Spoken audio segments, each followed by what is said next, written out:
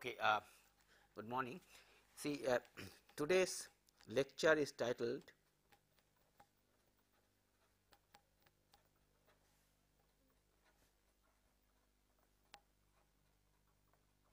Ship motion in regular waves. Uh, earlier we have uh, spoken about regular waves, we have followed that by irregular waves. Of course, before I go to that, I want to speak little more on irregular sea still which we did last class, but some carried over stuff I want to uh, continue. See, we mentioned that irregular sea is given by what is meant a spectrum.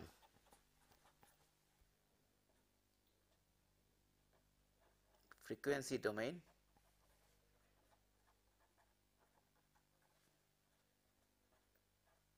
energy spectrum looking like this. Okay.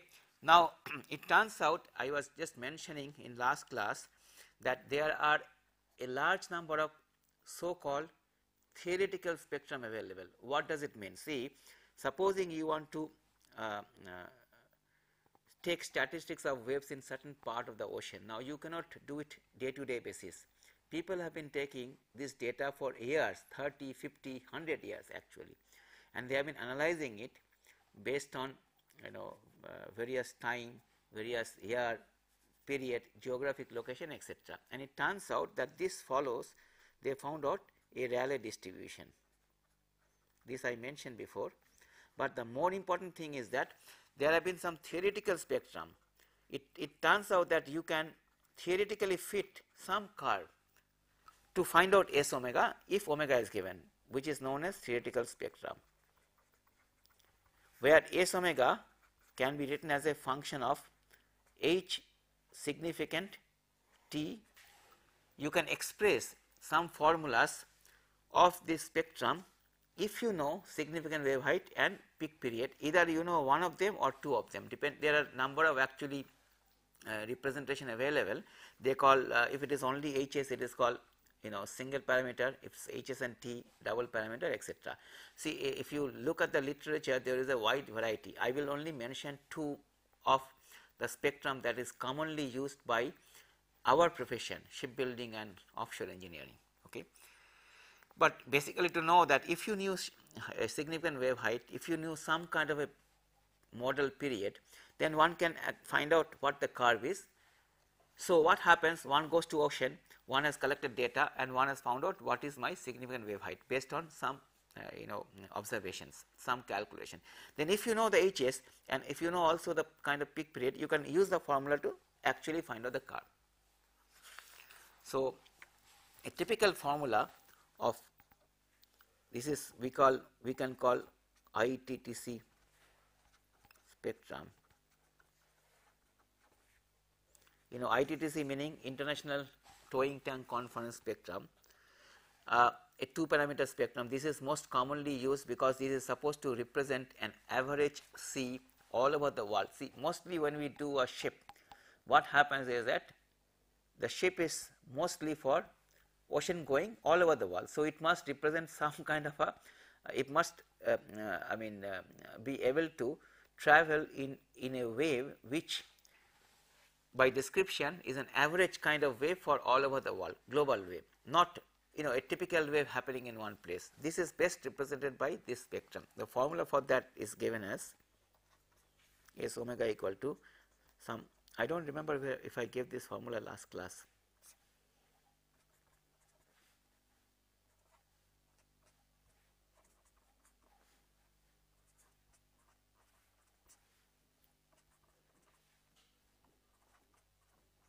Then T1 is some kind of a period. Uh, see T1 seems turns out to be some period or T1 equal to 0 0.772 TP. This is called peak period.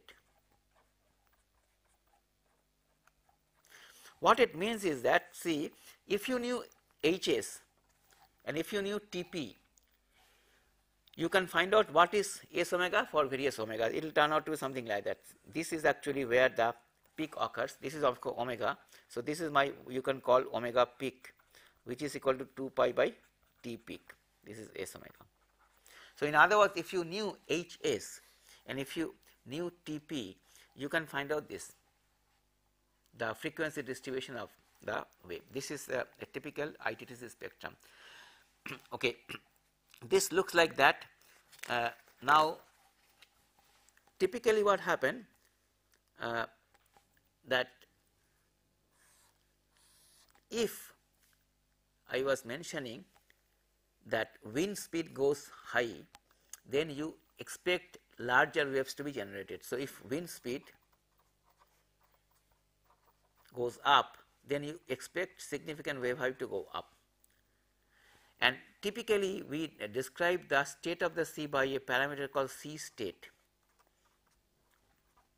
This is not very well defined, but you know you use the what sea state 1, 2, 3, 4, 5.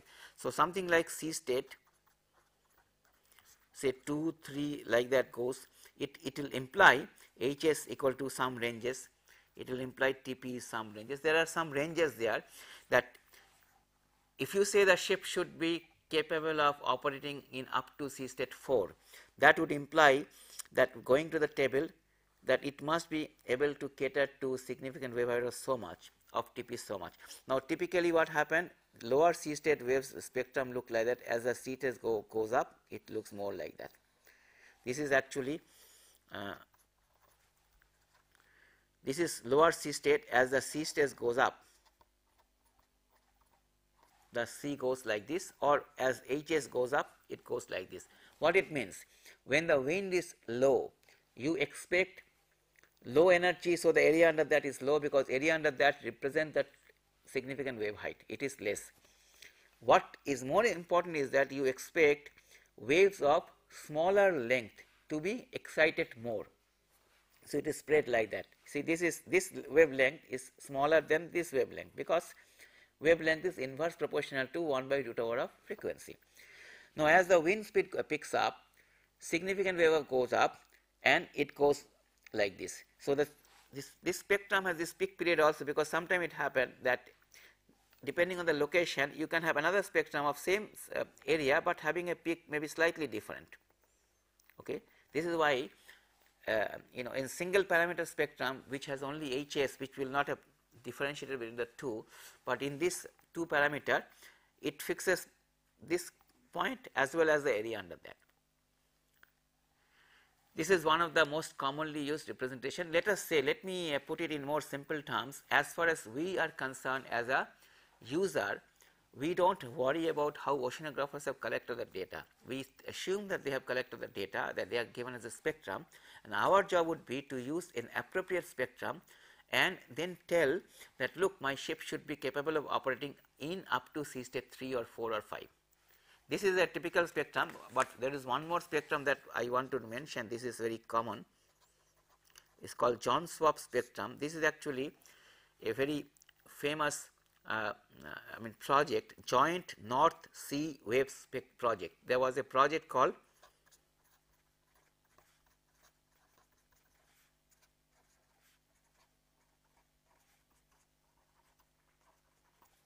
joint North Sea Wave project. The reason I mention this is because in the when the offshore industry started you know yeah, yeah I mean uh, finding oil in North Sea now offshore structures are not moving from place A to place B they are always in one point mostly North Sea. So there is no point of trying to uh, gather oceanographic data of Bay of Bengal and apply to North Sea and it turned out North Sea is a more uh, violent ocean. Atlantic is always known to be more violent ocean, you know. there are much more accidents near Newfoundland and upper North Atlantic than any other place. now, this project when they did it, they, they came up with a formula for that. I am not writing the formula, but uh, typically that formula will show that this, this spectrum for the same energy is much peakier than compared to say for example, my ITTC spectrum. This might be the ITTC spectrum, this will be JONSWAP. Why I mention is that because John spectrum turned out when you collected data there, it, it turned out that there is a tendency for wave of one particular length to be much more number. So, it is what is called peaky spectrum very much picked up. See in this one ITTC spectrum the energy of waves of this uh, frequency and this frequency it is maximum no doubt, but it is somewhat spread. But in this one you have got much more waves of only that particular height. Why it becomes important we will see afterwards that if you have a structure which actually behaves badly in this wave then obviously it is going to behave very badly in JONSWAP spectrum. That we will discuss when we talk about ship behavior in waves. Okay. I just want to mention this because of its historic importance this JONSWAP spectrum. The second point is that now that I know SW by a formula, this is a Rayleigh distribution. It turns out that if so, you can find out every possible statistical property based on this SW equation. For you can find out number 1, what is the probability of wave height exceeding so and so? What is the probability of a given wave height, a probability of say h exceeding certain given? What is probability of h occurring once in 1 in 100 years. Oh, this is too small, but uh, you can just note my word. You can find out every possible statistical parameters like chances of wave not occurring less than this, more than that, period so and so, what is the chance of a return cycle of a given wave that means uh, after how many cycles statistically one particular height will repeat, what is the maximum height expected in 30 years, what is the maximum expected in 100 years, everything can be found out from this formula if you assume that to be a Rayleigh distribution, you know all statistical property becomes available. This is what we do. Therefore, see things become simple from our point. If we can get an HS significant height and TP for a sea state, for a given sea state I go to HS and TP, then I go to the, I choose an appropriate spectrum formula. Once I choose that, I can find out every parameter. What is the chance of, you know, a wave height exceeding so and so. Afterwards, we will see that what we will want is not the wave height exceeding so and so, but perhaps what is the response exceeding so and so. Wave height also is important because suppose I find out uh, uh as an example an offshore structure, I find out that the chances of a wave height exceeding uh, no the chances of maximum wave height occurring once in 100 years is equal to say 20 meter. Okay. Then obviously what I will do I will design the structure so that it can survive up to 20 meter high wave. You see this is how the statistics come you cannot design for infinite time you have to go statistically. So, there is statistically a probability of what they call return cycle. So, suppose once in 100 years means you can break it in seconds and if the wave is 10 seconds. So, you know that after so many cycles this wave gets repeated. So, the, let us not go into that detail because we do not have so much time, but uh, just the point is important that all statistical properties everything that you may want to know ever for design becomes known. This is a short term statistics there is one more thing I should mention here what is called long term statistics.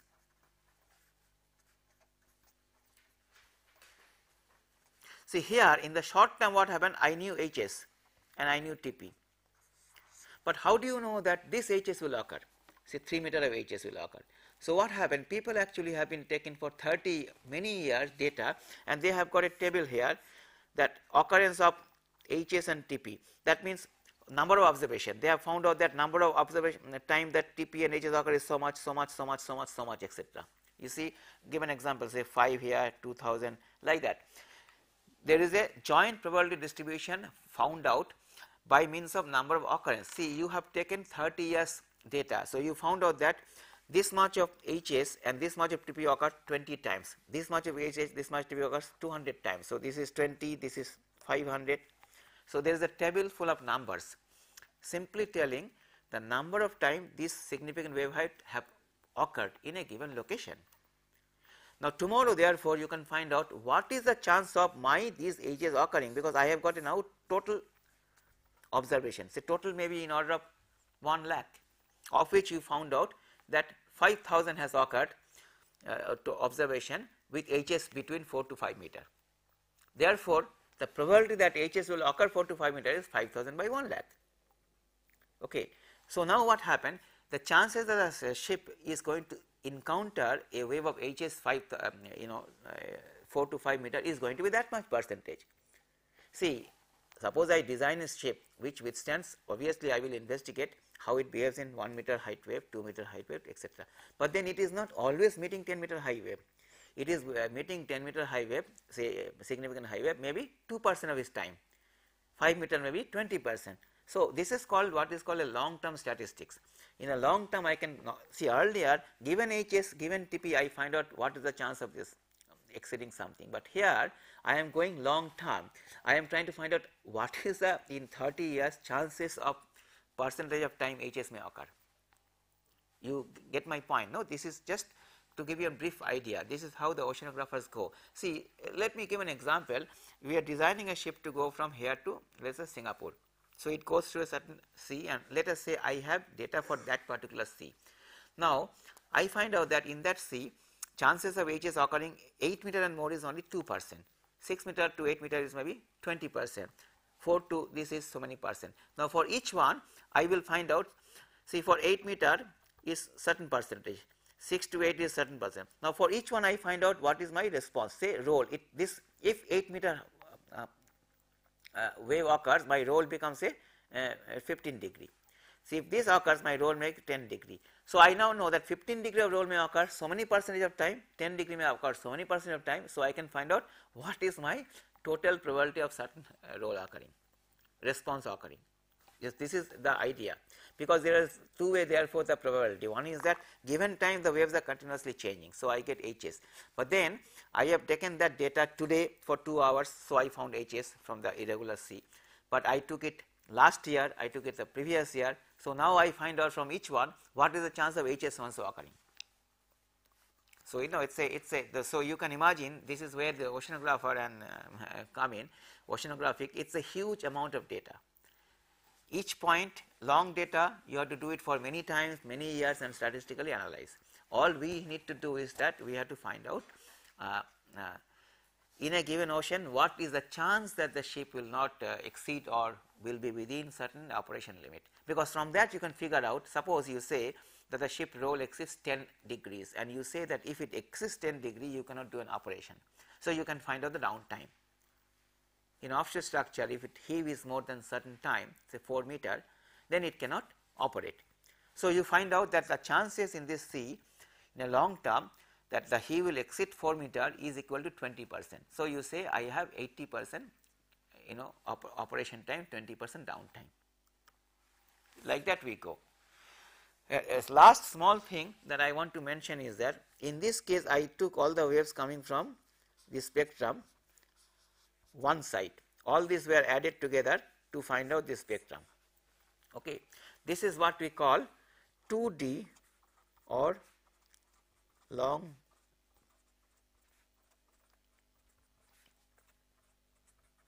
long crested sea. Because what happened in here if you stand here I mean in a, this thing these waves are crest is long along the x axis I mean the waves are going this all of them are going in one direction. So, on the crosswise y direction the crest is continuously long. Because here this spectrum was based on the assumption that we have done in the previous class. We have added all the waves, but all the waves that were added were all in the same direction. But in reality waves can come from this direction, can this direction, can this direction, can this direction. So, now if you make a more complex picture that means if you want to say that the wave that I have got at point A is not only because of all waves coming from direction 1, but also from all waves from direction 2 and 3 and 4 and 5 and 6. So, in other words if I assume that a particular point the waves that are coming are all waves in one direction all omegas, but also all omegas from all thetas. So, it becomes a more complex uh, analysis that means you also find out the directional spreading. So, what happens you see it is goes something like that that you assume that supposing all waves came from one side it would be like this spectrum would become like that. But now this is when all the waves are coming from this direction, but if all the waves are coming from this direction all the waves come from this direction etc it will be something else. Here what we do you assume that as if some waves are coming from this direction, some of the energy is because of waves coming from this direction, some from this direction, some from this direction. So, it, you can imagine that it is something like this curve is being rotated like a bell curve. Like this curve will be rotated here rotated here. It is difficult to yeah so it is like a graph where you are just rotating it. But you see if the now now there is an interesting point. Suppose wind blows this side. You would expect most waves to be on this side, but you will also expect waves from the other side, but to a less extent. Ultimately, you will expect almost 0 waves from 90 degree angle. So, this is how this idea of uh, what is called 3D or they call short crested sea or short crested spectrum where what they do is that what we assume is that look the energy of all the waves are not only coming from direction 1, but from all direction. However, the directional spread this is called spread is diminishing from the main direction and it will go to 0 as we go down. So, typically what they do S 3d omega is written as S 2d omega into uh, this is actually omega and theta because it is a function of both into one spreading function. Typically what we represent is that we say that the 3 dimensional sea is 2 dimensional sea multiplied by a spreading that means there is a 2 dimensional sea when theta equal to 0 some value theta equal to 10 degree some other value and as it goes to 90 degree it becomes 0. So, f theta becomes what this is called spreading function.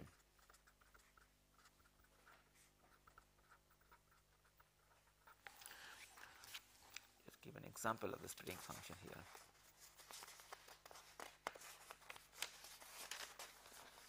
And it okay.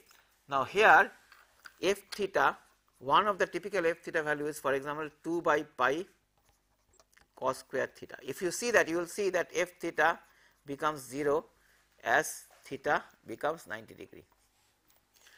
And if you integrate f theta d theta over these angles actually minus pi by 2 to plus pi by 2 this will become plus 1. So, what this is very interesting because what happens see S 3D I will very briefly tell this S omega into f theta. See remember that area under that see area under this area under see now this is my spectrum. So, if I integrate that and integrate that and integrate that okay what happened this represents area under the spectrum. Now, the area under the spectrum represents the total energy that has been transformed to the wind. So, the energy is constant. Now, see the entire energy might have gone to produce waves only in direction 1 but you can also assume that look this entire energy is spread some part of it is actually producing waves in direction 1 and another part is in direction 2 etc. So, integration of this which represents energy always must remain constant. So, this must be equal to this, but then this is I have done where also represents the energy same as the 2D spectrum. So, this integration must be equal to 1. See then this condition gets satisfied this is a basic philosophy actually. What I am trying to say, okay, I will give an example uh, numerically, it will be easier. Say, let us say this energy is equal to 100 unit. Okay. Now, this 100, the total energy is 100 unit of waves. So, now supposing I assumed all these energies coming from direction 1, then my two dimensional thing would have been 100 unit. But what we do is that we say this 100 unit is spread, there is 100 units this would be 100 units coming all waves in this direction, but I am going to say that this is equivalent to 80 coming from here uh, or say 60 coming from here, say 20 coming from here, 5 coming from here, 2 here like that. So, that the sum of this 60, 25, 2 etc. will become equal to 100. Okay. This is called directional spreading. Now, by doing this formula we find out an f theta where this sum becomes remains 100. I, I give better example of, of this here. See uh, this book. Let me draw in this way. See this is my spectrum in two dimensional. As you go, if you draw a spectrum like if you actually it is very difficult to draw. If you spread it, it becomes a bell curve. Now, area under the bell curve should be equal to area under the spectrum because area under the bell curve here represents same thing as a total energy. All thing is that earlier I had this bell like that I said all the energy is contained within all waves in one direction I now only am saying is that look it cannot be so the same energy has to be spread. How, do, how does it get spread? It is spread such that in some fashion the total energy still remains constant. So, here you know now the, the spreading function tells us that look maximum will be always on this because the wind is blowing this side and you expect that as it goes there will be less and less energy from more and more direction ultimately 90 degree should be 0. This is what we are doing. So, you are pulling it down here and spreading like you are, you something like you know I, I can give an example in a graphic form like if there was a graph there you push it down and kind of like like a cake there you pushed and made a made a pyramid.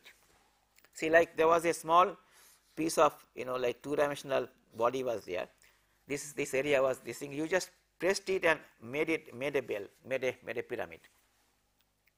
You know?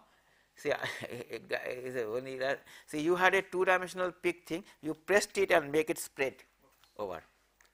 So that the same energy is there the volume is same but now it is spread. And the, as you go away from the main direction obviously the energy is less. Ultimately 90 degree it is less.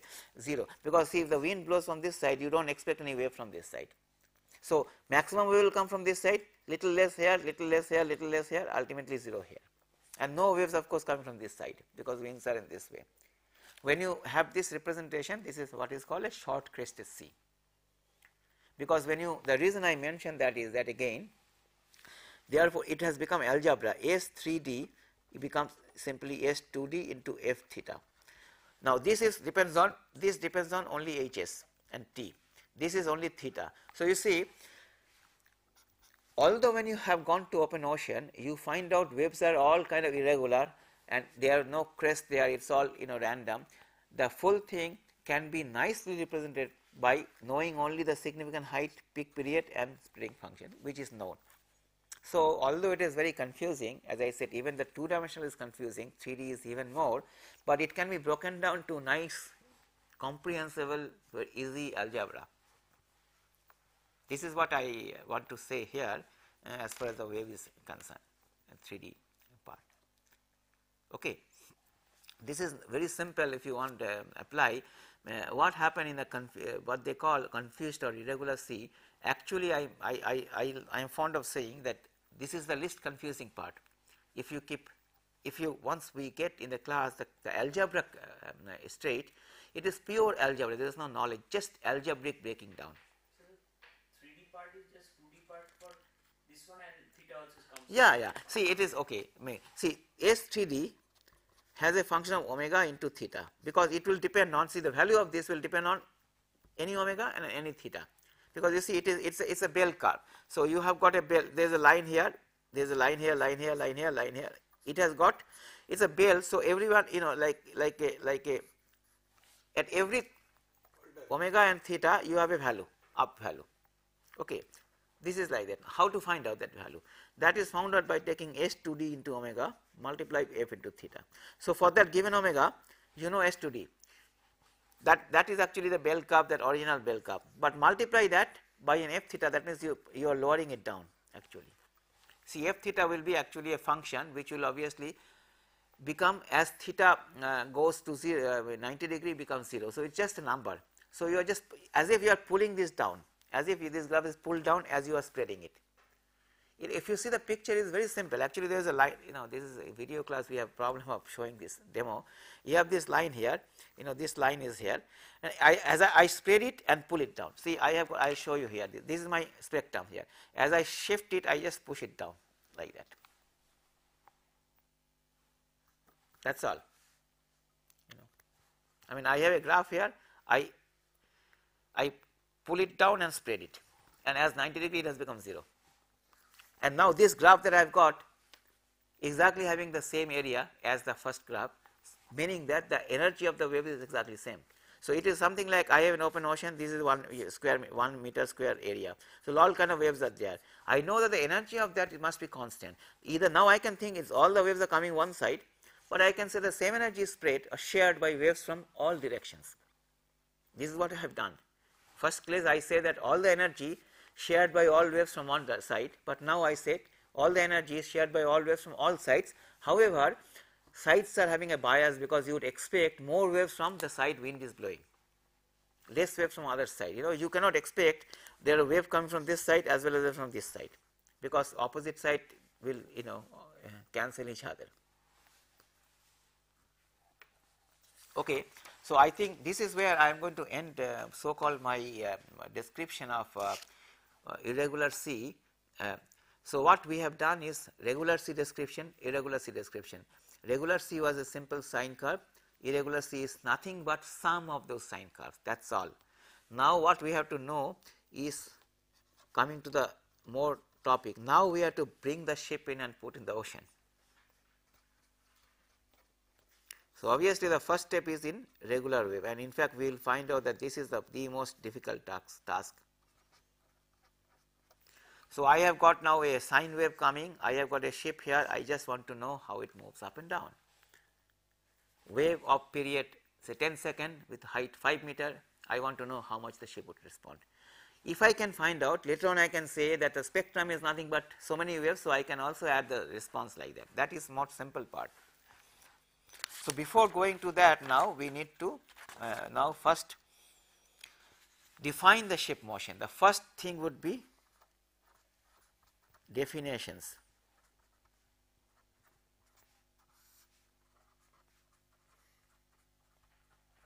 This it, it appears very simple to all. I tell you it is not always that simple because what we know layman is okay. I mean you know in a layman's term is fine, but there are some assumption inherent to that which we do not tell.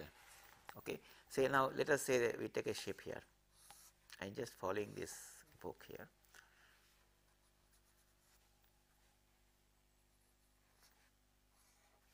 We are going to use this, uh, this kind of uh, you know say x body here, say y body here, this is it. This is maybe g here, the center of gravity here, etc. See, everybody knows, I mean, I am just showing a shape here with some axis. We can say typically when you read hydrostatics and all, we have fixed the axis along the length direction, that is longitudinal axis xb on the body, uh, you know, transverse axis yb and zb I am calling it. That is a, an axis of the body. Obviously, everybody knows that the mo linear motion here is called surge, this is called sway, this is you know up and down motion, this up and down motion, this up and down motion is called heave. Okay. That I think all of us know. Then this is see x 1 many ways of putting I can say this will be axis 1, axis 2, axis 3. Then along 1, 2, 3 is surge, sway, heave. Now about 1 that is this motion is roll, then this one is pitching and this one is yaw. So, you can say surge, sway, heave are linear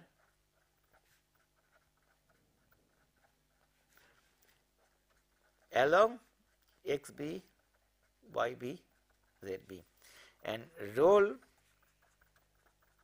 pitch yaw is angular motion about same three axes xb, yb, zb. Okay. So, there are three. Now we, we, we are using right handed coordinate system. Remember that angular motion means when I say about xb that is clockwise direction. That is you know this way. If you axis is there this this axis is there means going like clockwise direction you have to remember that because otherwise in the calculation we have make mistakes you know that axis. Therefore it is here means this way here means this way. That means you see bow down is pitch positive in this. And here it is this uh, I mean going on the what you call port side is a positive yaw angle. This is what this is very simple. All of you know that. But now there is a problem. The problem is that when I want to observe the shape from a fixed axis I am on a shore this is not this x, this x b y b z b continuously changes. What happened in a let me give an example in a wave the ship is at this moment like this. So, my x b is this side z b is this side. So, should I call this this motion heave or should I call the vertical motion heave? See the question comes of the axis you see uh, I mean this one I, I, I, I want to say this one very clearly to you. Suppose at some point the ship is like this at some point of time. Now, my x b was this way my ZB is this way. So, is, is this heave? If this is heave, next instance the shape is like that. Then next instance eh, this is going to be heave. So, the heave direction will keep changing. So, today you call this heave, tomorrow this is heave, every instant the heave direction roll also same thing. So, you understand this is an important point we have to understand at the beginning because we, we always tell ship is heaving 4 meter, which is the axis if you say the axis what I defined as a body fixed axis, the body is changing continuously. So, my horizontal is changing. Take a submarine, it can dive here like that. Okay. So, will you call this to be heave or the vertical to be heave? Right. So, the axes are fixed to the body then but that is okay even then no okay okay fine axis fixed to the body there is a ship here it is uh, the, the submarine is diving like that axis is fixed to the body x as this z you are calling the motion along z axis is to be heave will you call now this is my vertical remember this is my water, water surface. Will you call this to be heave But it's at an angle. yeah but will you call this heave when you say the ship is heaving you see that if you call it heave the next instant the ship is changed uh, this direction. So the the motion no no when you say the ship is heaving 4 meter okay what do you mean? It is see in this case the heave axis is continuously changing. To this side this side this side this side like that going. So which one is you call heave when you say 4 meter it is on this 4 meter because it's not fixed here it is continuously changing. See understand when, when you're saying roll also. Roll you say about this axis. But you know the ship may be actually uh, always at about some it, it may be actually like this position and then rolling uh, some angle. Or it can be actually about this position and then having 10 degree. They are not same especially pitch is not same thing. Especially pitch in a typically say submarine kind of case you know will you call uh, i mean uh, this to be pitch or this to be i mean the, the, ambiguity will come. Which is axis? You would want for example let us take a simple case. You would want the motion along the vertical axis to be heave. Let us because heave is more commonly known. But if you fix along the ship axis then it is not that the z motion zb is not always vertical. It is changing. Okay. So therefore we need to have some more uh, generalization of definition. It is not same. Second thing is i can tell you the axis. Supposing i put this as an axis and i put this as this thing. And tomorrow you decide to put this as an axis. You know i like another color. Now you see this is my one axis this is my another axis. Now if you define motion about this axis and rotation about this axis as heave pitch roll etc and he decides that I am going to use this to be the axis, will you get the same roll? When you say 10 degree roll, he is thinking that it is rolling about this axis, going through this and I am thinking it is about this axis. So, again there is another ambiguity, you have to first define the axis, then define that I am going to tell about this axis, this motion is roll pitch heave. Okay. So, you cannot say just you know I am taking a very strict sense, we will find out that when the motions are small the distinction is not there okay. But if you want you know from the beginning a very strict sense you have to first define the axis, origin of the axis, then tell that about this axis this motion I am going to call heave, roll and pitch. So, okay, so therefore, now comes this uh, the game that for a ship it turns out there are three axes that you have to introduce typically. One axis would be what you call okay I am going to use this way only this this I am called inertial axis or earth axis say.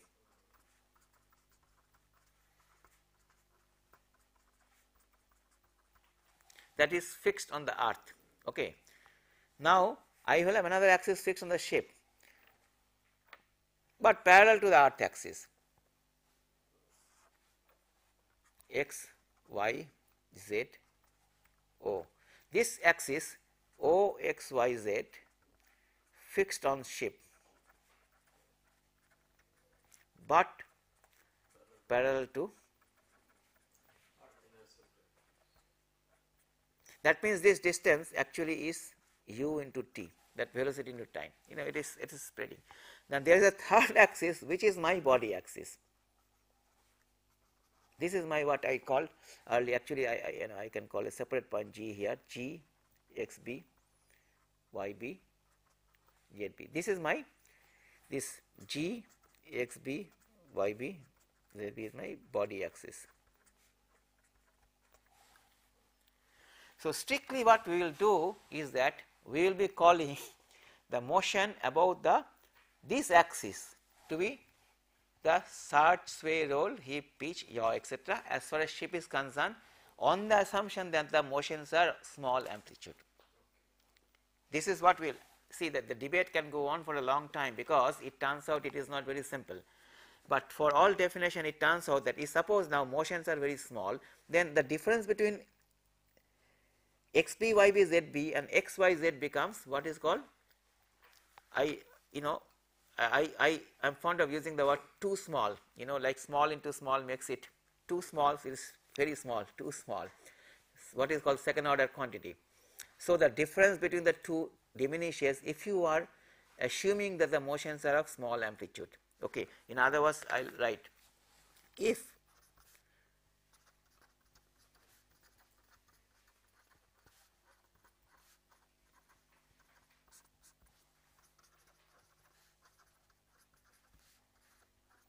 between O x b oh sorry x b y b z p and x y z is too small. Actually, you know epsilon into epsilon it is order of what you know mathematically it is what is called it is a second order quantity you know if there is a small thing the difference is small into another small makes it small square see 0.01 into 0.01 makes it very small you know like that. We need not worry about that, but if you want if somebody was very rigorously mathematical, really consistent then it one can explain. Now, we will define for us the motions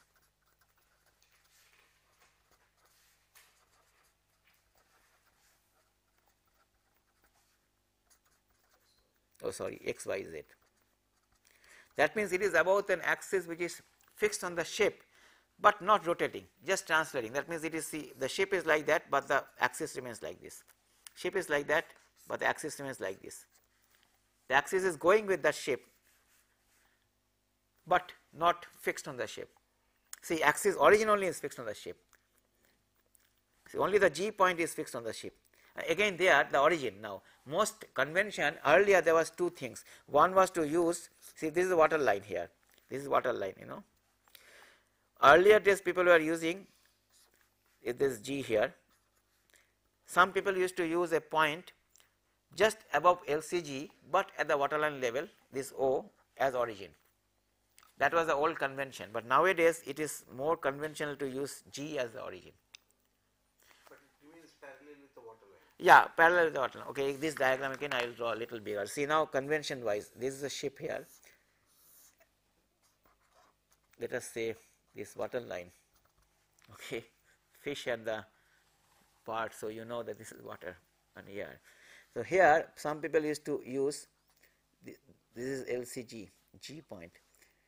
At one time this was used as the origin but that was uh, more earlier literature. Uh, nowadays it is more convention to use this as origin both can be calculated, but you see the question is that normally the difference between the two because this distance is small will not be very small.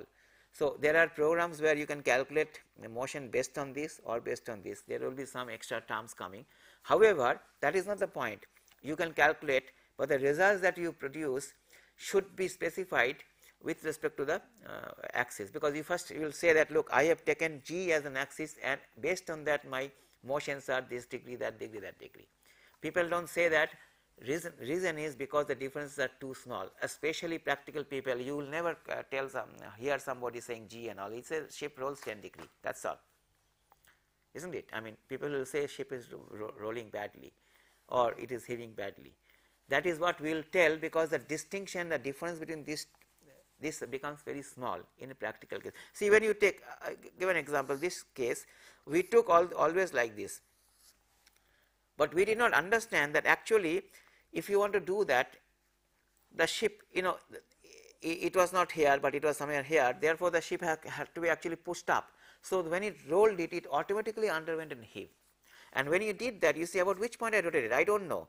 If I rotate about this point then the ship orientation look something else. If I rotate about this point the orientation will look something else. See uh, simple example if I rotate about this point the ship would look like that. If I rotate about this point it would look something else.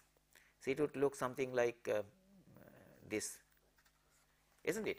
So, its location in space actually differ depending on about which point you are uh, you are um, sort of turning. However, what happened in both cases see the angle is 10 degree. So, normally we say that okay it has heaved 10 degree, but if you want to say the complete story it has heaved 10 degree also pitch so and so because I want to find out in uh, wave where it, exactly it is look what space it occupies that does not become unique. So, if you want to numerical simulate say you have a simulator then you know if you do not say the axis it will give you 10 degree roll, but it may not be the exact location where it is supposed to be. So, in one case you may see that uh, that uh, you know site say bank another case depending on that you do not see it. So, what I am trying to say uh, in short is that the uh, the space that the ship occupies uh, you know in space or the place that it occupies in space you know exactly see this is a 3D space where it is exactly located with respect to a frame that will depend on about which axis you are rotating. See I can rotate 10 degree here, but I can also get the 10 degree here, but these two are not same. So, if you want to be very exact that is why when you want to do simulator where all the 6 motions are necessary axis is important, but in a layman when you just say the 10 degree rotation you simply say the 10 degree rotation because it could be here it could be here, but in ship motion we should be more strict because it is it can be coupled one can induce other. Okay. Uh, so, this is the part I will uh, we have another 5 10 minutes. See now another thing that is most important that is we have to discuss immediately is called So, this part that we know that we are now calling that, that motion encounter frequency. Some people call it frequency of encounter. What is this? See a very simple example. Now, I have got a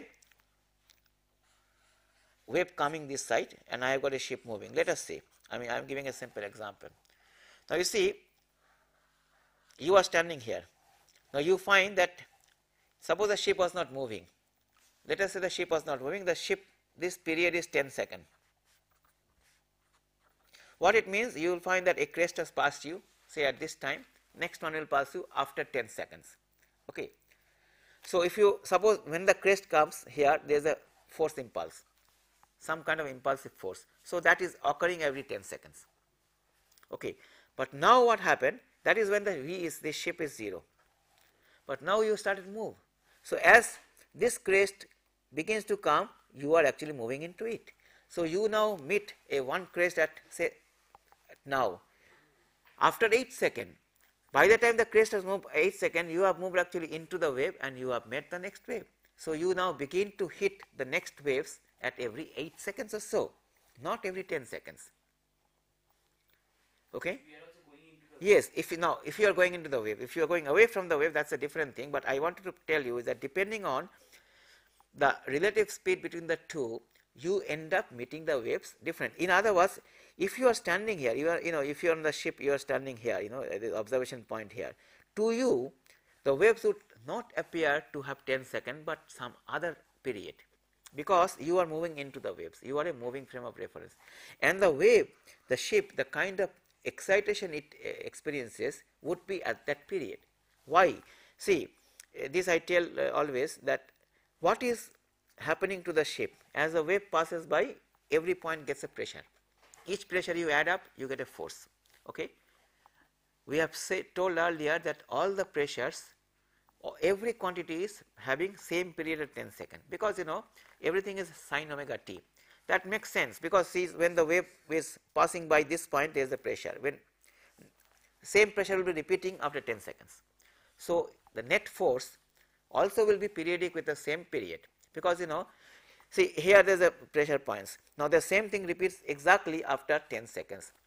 So it will it is repetitive after only that period. But in this case now it is repeating after 8 seconds or whatever seconds because you are now going into it. Therefore the ship gets a kind of if I think a ship getting a push is earlier it was getting a push at every 10 seconds but now it is going to get a push at every 8 seconds. This is what we call encounter frequency. You take another case of opposite case, the waves are moving and you are also moving. In fact, if you know I just draw this outside, uh, say it may happen that the wave speed and your speed is exactly same. If you stand here, you will you will not feel that you are moving. There is any wave. You will think that you are stationary because you look at the outside and you see the same crest is right here. I am moving along with that. So, no impulsive force comes on you. So, you do not feel the uh, kind of uh, excitation. So, there a, a, a, frequency of encounter becomes so called period is 0. So, this is called encounter frequency which is very critical because the period at which the ship uh, experiences excitation is not the period of the absolute wave, but because uh, the, the, but something else as observed by a moving ship. So, we have to first come with a formula for what is that uh, that period. Okay. So if the waves on the ship are moving at about the same speed, then there will be no encounter at all. Exactly. There is now you know that this is there is no encounter at all. This is the most interesting part now since we this lecture of few minutes I will discuss that little bit uh, just spend this is a, this is the most dangerous and most important situation that comes you are moving this side waves moving this side you are very happy you think that it is like hydrostatic nothing is happening but you know this point water is moving you are moving and there is basically no creep. And it is this is a case uh, what is called following waves where ships capsize having high roll because it is just like you are trying to walk on a skate you try to walk on a floor which is very very smooth so you walk but the relative speed is 0 so you fall because there is no creep. Or you can try to walk on that thing where the floor is moving you are also moving same speed. You see or it is the experience of trying to uh, drive on a ice rink. Uh, in Canada we used to do that. No creep just like that. It is if you relax think that there is no waves you are going to capsize. It is the most dangerous situation of, of following waves uh, parametric resonance. This we I will discuss that uh, uh, later on. This is a normally this is what is called a resonance a large oscillation of roll motion and there have been accidents for that. Anyhow today uh, this lecture I will end here. We will do in the next lecture we will pick up from this point. Thank you. This you did not hear it.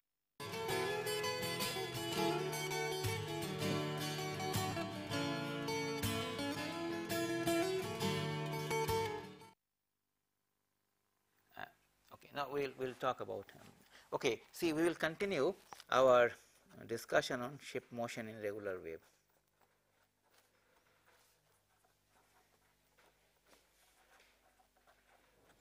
We will come to that uh, uh, little later. First let us now uh,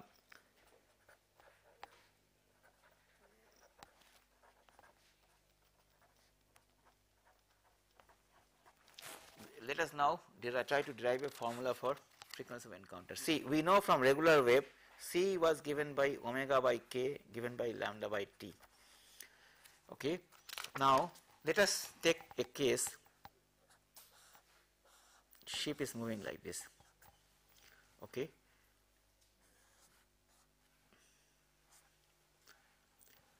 And uh, the waves are moving in this direction. See this is my v. Let us say this is my wave speed. Uh, I think I should have taken another color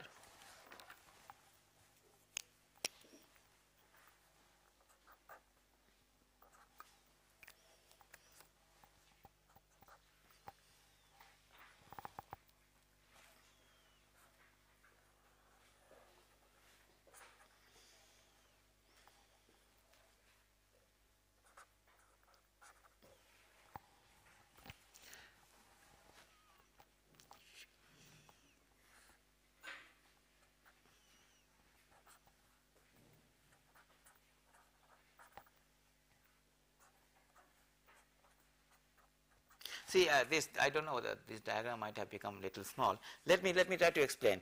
There is a ship here. What happened is that this ship is moving in this direction speed v.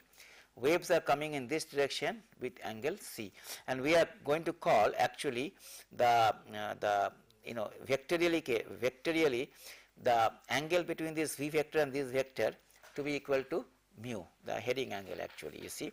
So, this is my one vector one see uh, this is my v vector and this is my c vector okay? So v to c we are going to call that is uh, uh, you know from this other axis to be mu angle okay? Now what uh, is happening is that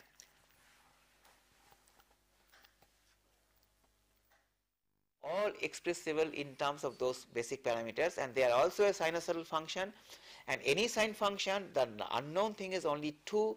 One is the amplitude one is phase. Oh, so our so therefore suppose i want to find out for a ship let me give an example. I want to find out you want to know what is my acceleration there is a deck crane here you want to know what is my acceleration at this point. If i want to know that point acceleration i actually know it is sinusoidal function. I will know everything every time every instant what is the value of that acceleration provided i knew surge, sway, roll, he, I mean those six motions and the location of the point. Of course, the location is a geometric parameter, so I would know. Why we say that is because it turns out that ship motion therefore is primarily dependent on those six primary motions. So our biggest challenge would be to find out those motions. Once you find it out those motions, the, the the complication is maximum to find out those motions. So I just write the sums to summary. Find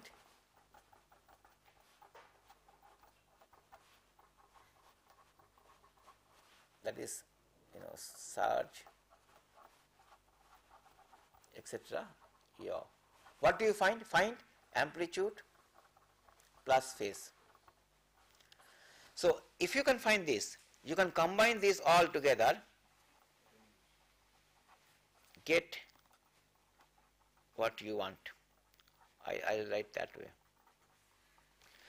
You see By phase you mean the wave angle. yeah no not wave angle. The difference between when it is occurring when it is occurring with respect to the wave lag, the lag only.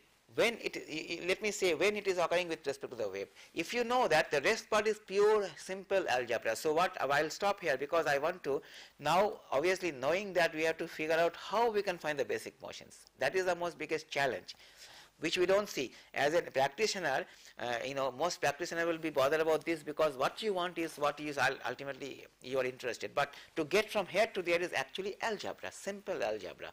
To get to this point is the most difficult point you know. But here to here is absolutely simple algebra. It is just question of uh, two more pages of just doing one plus. It is like if you have to add 10 tables in a figure, it is just tedious but nothing brainy.